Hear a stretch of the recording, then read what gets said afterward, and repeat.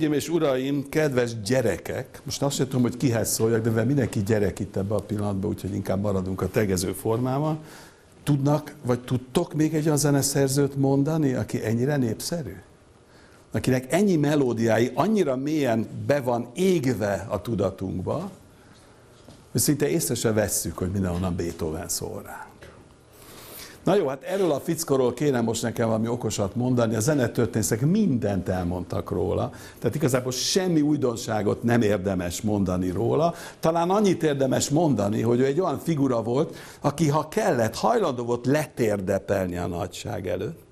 Itt Haydnnak a 70 éves születésnapját látjuk, és a történet szerint Beethoven az egyetlen ember, aki előtt hajlandó volt letérdepelni, az József Haydn középen ült.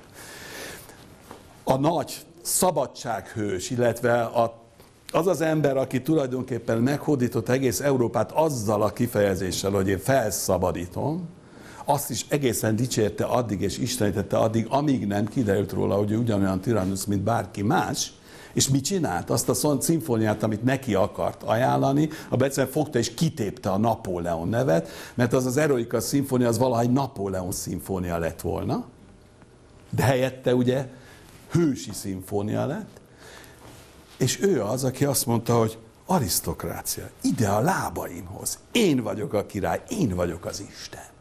Egy óriási változás a zenetörténetben, mert a zenetörténetben az emberek, a zeneszerzők, azok mindig egy állás után futottak, amiből meg lehet élni. Beethoven azt mondta, hogy a én nem leszek alkalmazott senkinél sem, szolgáljanak engemet az urak, fizessenek nekem napi díjat fizessenek nekem életjáradékot. Ezek mind olyan dolgok, amik abban az időben elképzelhetetlenek voltak. Ez mind olyan dolgok, ami ez merészség, bátorság és hihetetlen öntudat. No, erről a fickóról fogunk majd kicsit beszélgetni, vagy egyáltalán nem is tudom, hogy beszélgetünk-e. Ez a bizonyos ánykép, amit itt látnak, az egyik nagy támogatója, pártfogója, egy bizonyos Brown herceg.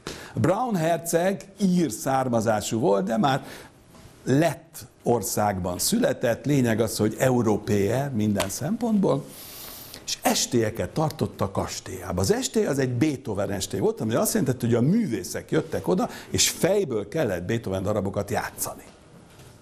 Azért az nem semmi, hogy valakinek az életében olyan koncert sorozatot rendez egy főúr, hogy fejből, tehát magyarul már ismerni kell a darabokat, meg kellett tanulni, járatosnak kellett lenni Beethovenben, Szóval fejből kellett játszani. Az egyik növendék, Beethoven növendék, egy Ferdinand Ries nevű rendkívül jó zongorista, nagyon hálásak vagyunk neki, mert rengeteget mesélt Beethovenről, a következőt mondja. Én is meg voltam hívva aznap este, iszonyatosan fáradt voltam. Semmi eredeti Beethoven nem jutott az eszembe, és amikor sor került rám, akkor úgy döntöttem, hogy valamit improvizálok.